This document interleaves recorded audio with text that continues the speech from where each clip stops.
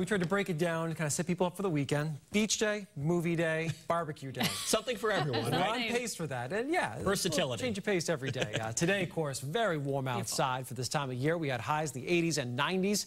Taunton all the way up to 93 degrees this afternoon for a high temp. And even across Cape Cod, 81 in Falmouth, 76 in Chatham. Great day to head to the shore. And we don't always get those on Memorial Day weekend. Last year, the warmest temp for the three-day stretch was 67 degrees in Boston. So today, our ninth 80-degree day of this month. Since records moved to Logan in 1936, only one other month has had more 80-degree days to this point, and that was back in 1977. And at Blue Hill Observatory, this is the fifth warmest May on record through today. With the forecast going forward, it will have a shot at the top three. So it's been an unusually warm month and uh, certainly a complete change from what we saw in April. Big picture, tons of heat across the country, real nasty stuff across the middle of the nation. We also have our subtropical storm, Alberto, which is in the Gulf of Mexico. And for us, we are eyeing this cold front, which is sagging southward, and it's going to bring a big air mass change for us as we head into tomorrow. Just starting to get it across northeastern Massachusetts. Essex County falling into the 70s. Portsmouth is now down to 70. Very warm inland, but we'll see that cooler air move its way southwest as the evening goes on. This is also the zone we'll be watching for the highest rain risk over the next few hours. Southeastern New Hampshire and down into Essex County.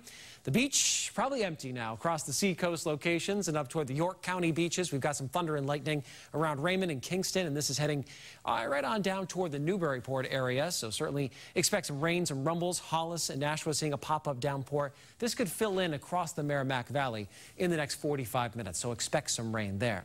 Otherwise, we'll be watching those temperatures and northeast winds starting to make their way back toward Connecticut. By 10 o'clock, we're all in the 60s. The clouds have filled in, and we'll continue to see some rain rain activity here, especially north of Boston. Tomorrow we'll be locked into the clouds. It's a little bit damp outside. There'll be some spotty drizzle, chance for a couple of showers. It's just a really cool day, stuck in the 50s. So certainly going to be a massive swing for us compared to today's summer warmth. Good news perhaps though for the run to remember in Boston, mid 50s, a little bit of drizzle, cool. Better than heats and should be uh, an excellent morning for a long run around the city of Boston. Our highs generally 55 to 60 with an east-northeast wind tomorrow. So if you're at the beach, it might be a board game kind of day.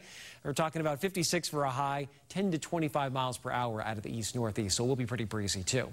Then as we head into Monday, we start off with clouds outside. It's a murky, cool start to the day. As we head past lunchtime, we should see increasing sunshine from west to east. This will allow temperatures to bump up. So no major weather issues. The afternoon barbecues or any observances are looking in great shape and manageable in the morning. It's just going to be cool and gray. Your highs will make it into the 70s away from the coast, 60s along the water on this Memorial Day. So the last couple days of the weekend look like this. Very cool tomorrow, seasonable as we look toward Monday.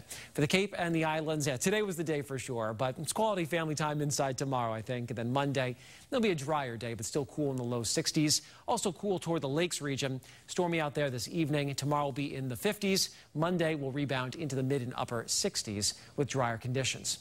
Also, here is subtropical storm Alberto is expected to strengthen heading into tomorrow, and this could become a tropical storm, gaining full tropical characteristics.